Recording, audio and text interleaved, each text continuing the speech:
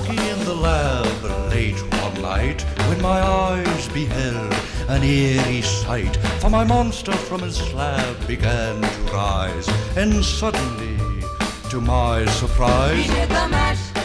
He did the monster mash. The monster mash. It was a graveyard smash. He did the mash. It caught on in a flash. He did the mash.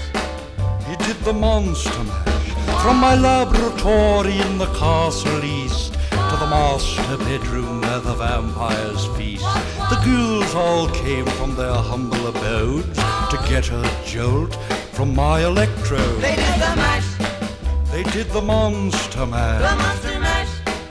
It was a graveyard smash. They did the mash, It caught on in a flash. they did the mash. They did the monster mash. Zombies were having fun. The party had just begun. the. The guests included Wolfman, Dracula, and his son. The scene was rocking, all were digging the sounds. Igor on chains, backed by his baying hounds. The coffin bangers were about to arrive with their vocal group, the Crypt Kicker Five. Played the mash, They played the Monster Mash. the monster mash. It was a graveyard smash. They played the mash, It got on in a flash. they played the mash. They played the monster mash. Out from his coffin, Drac's voice did ring. Seemed he was troubled by just one thing.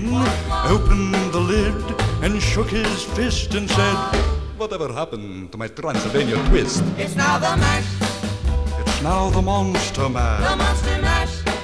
and it's a graveyard smash. It's now the mash, It's caught on in a flash. it's now the mash. It's now the monster mash. Now every